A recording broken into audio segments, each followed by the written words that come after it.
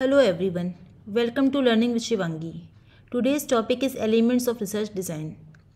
As we already know about the meaning of research design and uh, elements, components and uh, classification of research design in previous video, so we'll discuss this top, uh, topic in this video. So firstly we have to know about the basics of research design for the viewers who first time view my video. So what is research design? After the selection of research problem, the next task is the preparation of design of the research project, popularly known as the research design. Research design is also known by different names such as research outline, plan, blueprint, etc. It is basically the second step of the research process. It is a very important step of research process because it makes outline for the research process completely. So what the what are the elements of research design? Come to the main topic of this video which is so there are various elements of research design. First one is need for the study.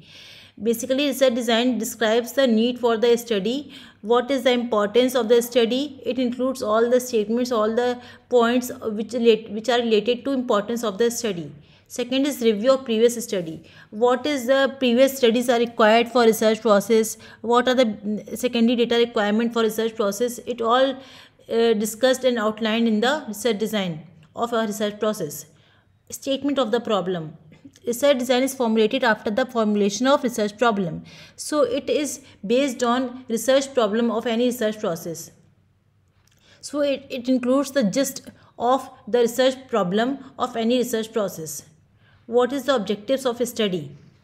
Objectives is very important for any research process. As you already defined about the research problem, so objective should be clear for a researcher uh, to related to research process. So research design is based on the objectives and research problem of the research process. Formulation of hypothesis. According to research design, the hypothesis can be formulated easily. If the research design is not clearly mentioned, not clearly formulated, then the hypothesis become wrong. So it is very important to prepare proper research design for a research process so that the formulation of hypothesis becomes easier. Now we come to the next point which is operational definitions.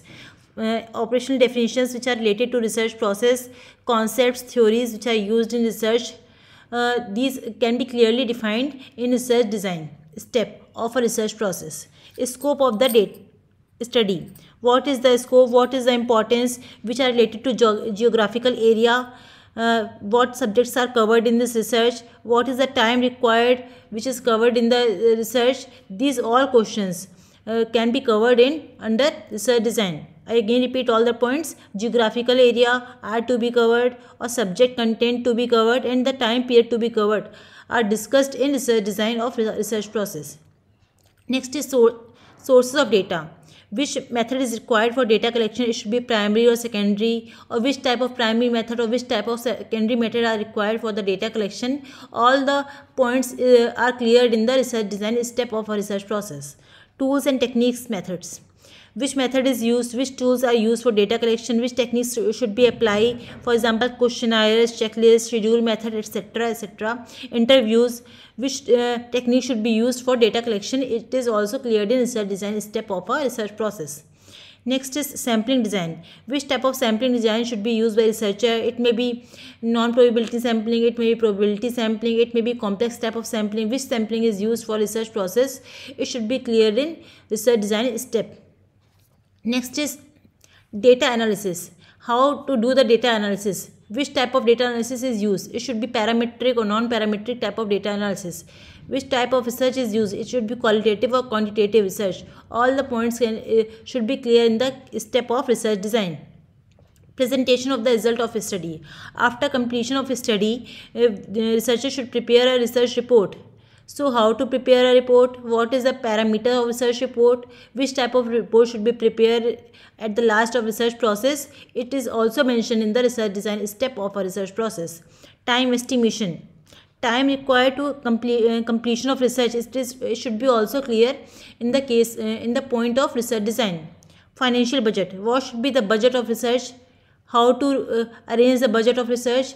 It, these questions should also be clear in the research design stage. Last is administration of the inquiry. What type of inquiries are required?